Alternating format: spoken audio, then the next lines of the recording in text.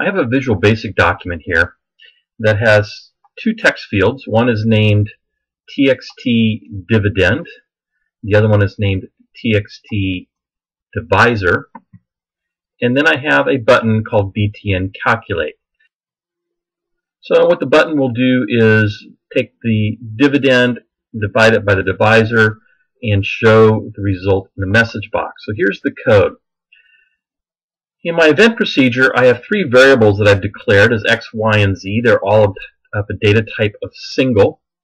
And then I'm taking the text from txt dividend and putting it into the variable x, taking the text from txt divisor text box, putting it into y, and the value of z is x divided by y. Then in a message box, I show the value of z. Let's run this, and you'll see that this works. So I'm dividing 12 by 5, and it tells me the quotient is 2.4. Now, if we look at these equation statements, x is a single data type, but the text property of a text box is a string data type. And traditionally in, in, programming, the data type on one side of the equation needs to be the same as the data type on another side of the equation. And this particular example that I'm using here, in other languages such as C Sharp or Java, we would get errors because we can't take a string and put it into a single uh, variable. VB is very forgiving in that it does implicit data conversions. So it's implicitly saying, okay, I'm going to take this string and internally I'm going to convert it to a single before I put it into the value of x. Like I said, most languages we can't get away with that. It's one of the reasons that, that some programmers don't like Visual Basic because this implicit data conversion can result in lost data or errors and by many is considered sloppy programming. There is a way in Visual Basic to not allow this implicit data conversion. And in front of our public class form, we can add a statement that says option strict on.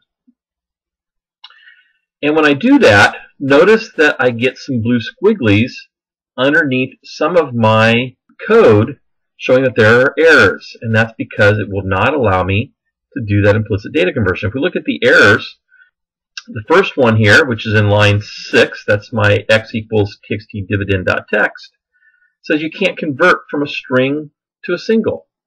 Same thing on the next line.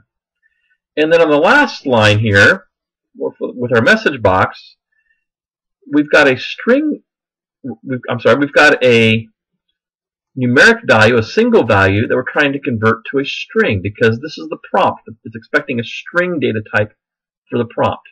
So I've got three areas where that implicit data conversion is no longer allowed. So how do we fix that? There's a method called val in which we can take a string and convert it to a numeric value. This actually is not a Visual Basic method. It's actually a .NET framework method. But one nice thing about the val method is if this were if the text were something other than a number, this would evaluate to zero. But I still have a problem here in that now, rather than going from a string to a single, val produces a double value, a double data type. And I can't convert a double data type to a single because you remember doubles are much larger in size. They're 8 bytes to store and a single takes 4 bytes to store.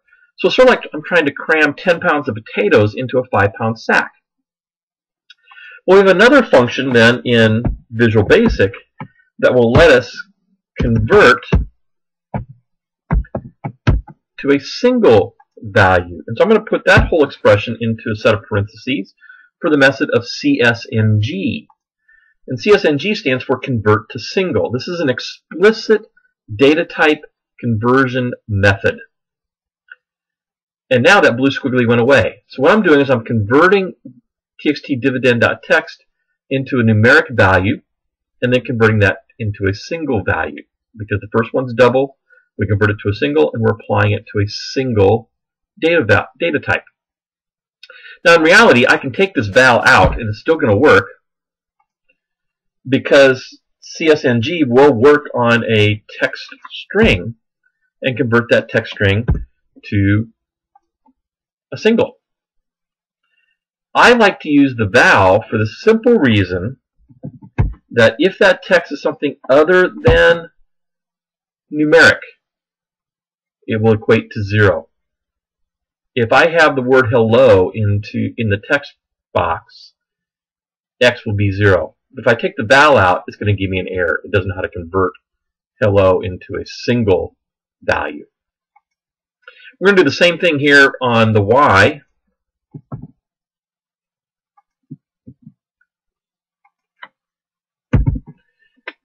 I'm going to convert that into a numeric value and then convert it into a single value. And then on the message box, we've got a single value we're trying to convert into a string. There's two ways we could do that. We could say CSTR Z, which stands for convert to string. That takes the blue squiggly away. But every data type has a dot to string method.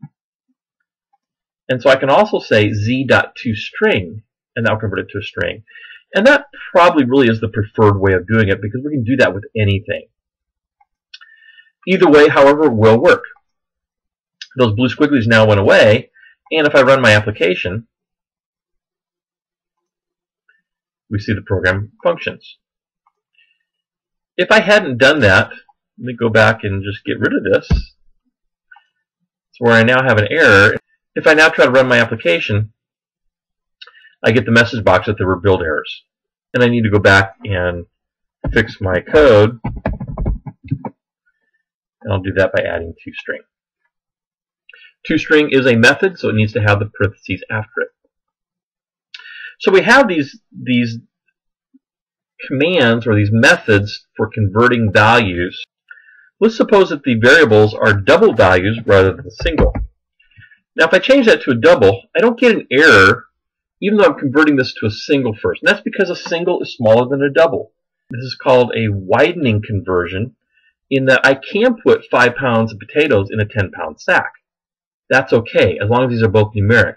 And so the option strict on allows that type of implicit conversion. But in reality, if I'm converting this double, I probably want to use the cdbl command and that would convert this to a double before it puts it into a double variable. So we have CSNG for converting a value to a single data type. And We have CDBL for converting a value to a double data type. We have CSTR for converting a value to a string data type, although the preferred method is to use the dot to string method.